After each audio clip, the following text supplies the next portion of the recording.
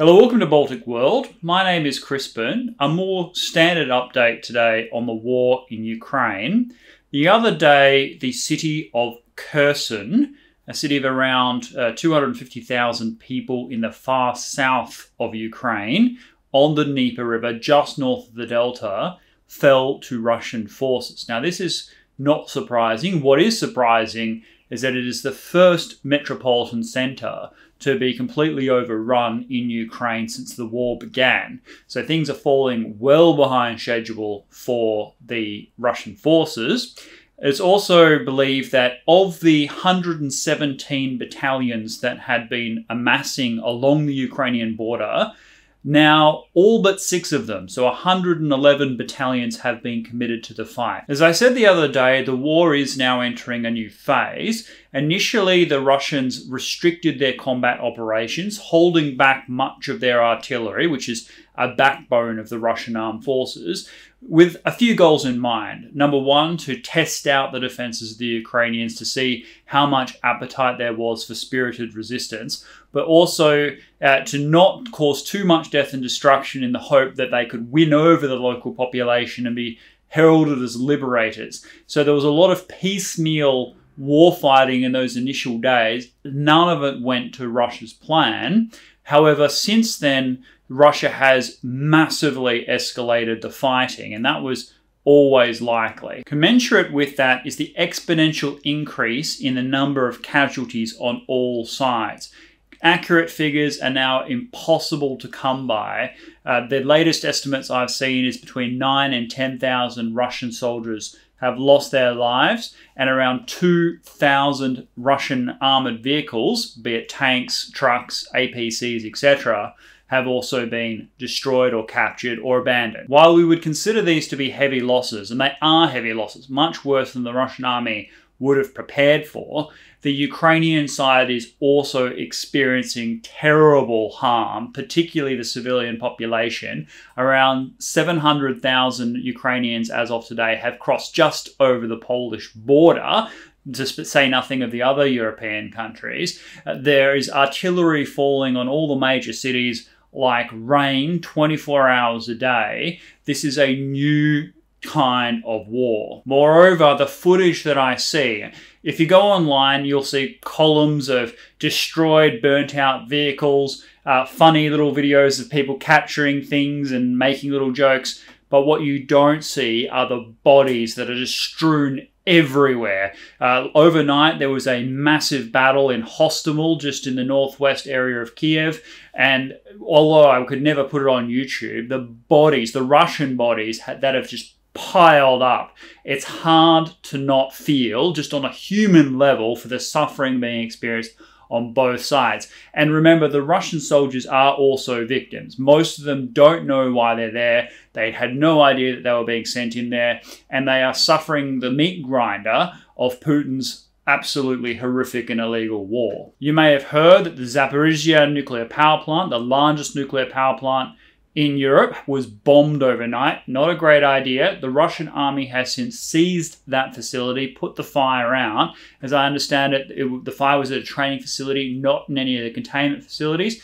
But it really does go sh- to show the extraordinary danger of military operations in the proximity of nuclear power plants. No doubt one of the reasons why Belarusian dictator Lukashenko built the Astravets nuclear power plant right on the Lithuanian border. That way, if uh, there was any act of nuclear terrorism, perhaps even perpetrated by the Belarusians themselves, then the immediate consequences would be for the people of Vilnius, not for the people of Belarus. So, how is the war progressing for Ukraine? Well, as of today, it's a mixed bag. As I said before, the city of Kherson has fallen to Russian forces. That is a strategically vital area. It allows Russians to cross the Dnieper River in the south of the country, bringing forces to the west. Also, it allows the Russians to resupply forces operating in the southwest of Ukraine via the Black Sea because supply lines to that point had basically prevented a southwest approach from Kiev or fighting towards Lviv. It also greatly complicates any potential counterattack, which must come from the Ukrainian forces. They can't allow Kherson to remain fortified in Russian hands in perpetuity because forces on both sides can be supplied. Other issues? Well, Zelensky himself has survived three assassination attempts this week. Of course, that is good news that he survived, but those attempts are going to keep on coming, and God forbid if any of them succeed, because Zelensky himself has become an icon, a figure of resistance. The breaking of morale should he fall in battle or, or, be assassinated is just too diabolical for the Ukrainians to think about right now. So his security, personal security, should be of paramount concern. The city of Kharkov is starting to resemble 1940 Stalingrad. Kharkov is going to be a humanitarian catastrophe because many of the civilians are unable to escape from that particular area. Unlike the cities closer to the west, closer to the Western allies, it's that the city of Kharkov is all but cut off from the rest of Ukraine. There aren't many opportunities to escape. So I'm very concerned about the humanitarian crisis that's erupting in Kharkov. The spread of famine and disease on top of the constant shelling is going to result in horrible consequences for the local people. We will need to have discourse with the Russian army to make sure that humanitarian corridors can get in there, provide food supplies, medical equipment, in order to keep the people of that city going and allow those people who wish to leave, which I'm sure will be many, to do so in a peaceable way. Other than the loss of Kherson, the biggest problem for the Ukrainian defenders right now is the lack of air power.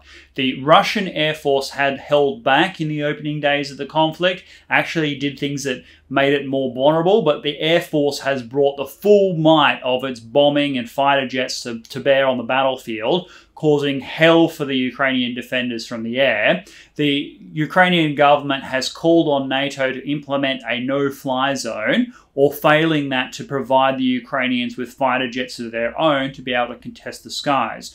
Now, the no fly zone is not going to happen. The risk of direct conflict between Russia and Europe will be considered too great. For those that watch my nuclear video, you'd know that the Russians, in that eventuality, would have a strong incentive to escalate to non strategic nuclear use very early in such a conflict, it's not something that the Americans or the Europeans are going to risk. The idea of providing jets to Ukraine might seem like a good one, but it comes with two big drawbacks. One, they can only be jets from Central and Eastern Europe. In other words, MiGs and Sukhois planes that could theoretically have made up part of the Ukrainian Air Force. If foreign fighter jets, you know, French jets, American jets are seen over the skies of Ukraine and Russians start to engage them, well, they're going to assume that these are not Ukrainian pilots, but actually Western intervention in the war in Ukraine, resulting in the same escalation. Relating to this is simply an economic issue. The cost burden of losing those jets would fall disproportionately on